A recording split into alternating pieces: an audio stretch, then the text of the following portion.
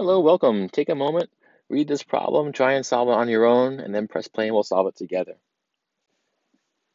Now, I really like this problem. I don't like how wordy it is. I didn't mean to write so much here, but I think it's interesting because we have an actual pizzeria menu. That's what we're dealing with right here. And I added some arbitrary rules to the menu that aren't listed out, but I added those rules so we can consider how many different types of orders there can be. So for this pizzeria, let's look at it. Uh, there are, it allows its customers to get small, medium, large, or Sicilian pizzas. You can see that right here. Here's our four sizes in 8 or 16 slices. So I don't know if you can see that on the menu. I don't see it listed, but you can get 8 or 16 slices. So that's two choices there, and there's four choices for size. And then you can get toppings on a whole pizza or half pizza. So toppings you can get on whole or half. And okay, so whole or half, and no double or triplet ordering is allowed. And that that's a modification. So I focused this menu saying you can order pepperoni but not double pepperoni.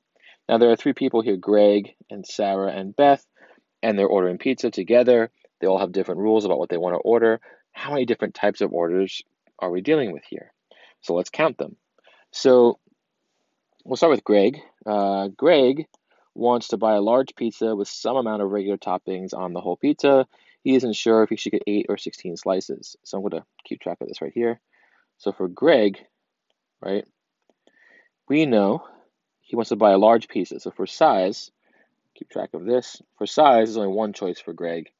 He knows what size he wants. And he knows that he's not sure about the slices. Slices, is it 8 or 16? He's got two choices. And then he knows he wants some amount of regular toppings. It's right here. There's 11 of them.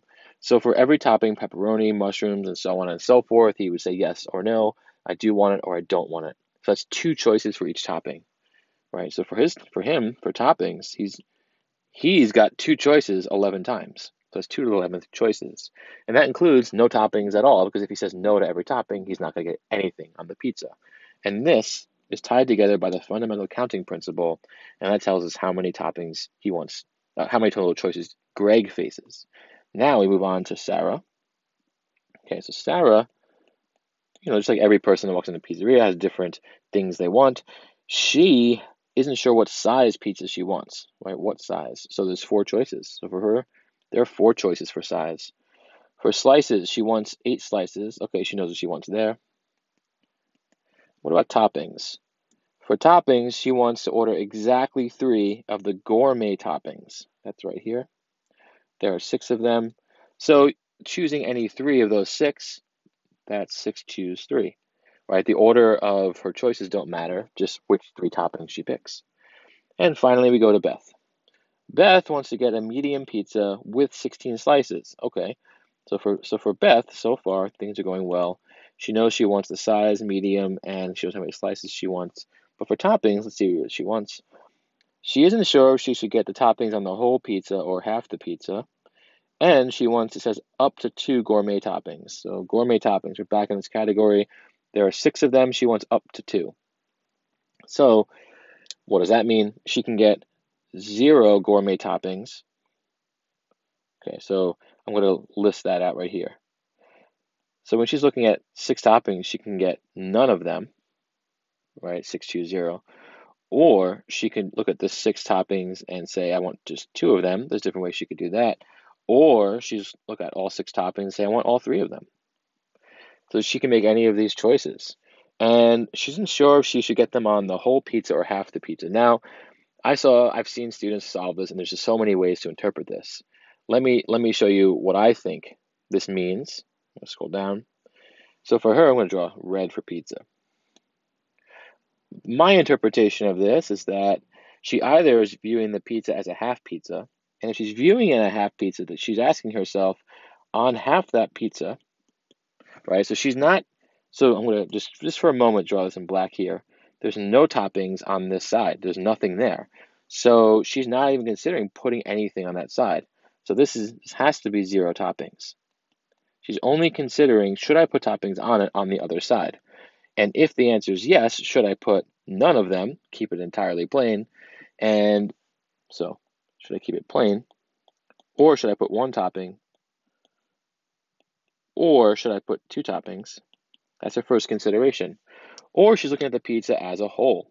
And as a whole, she's saying, should I put no toppings or one topping or two toppings? Should, what should I do there?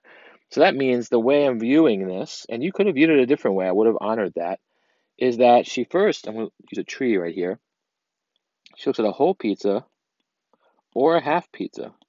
That's her two choices. How am I how am I going to place the toppings? And then if I place it on the whole or the half, right?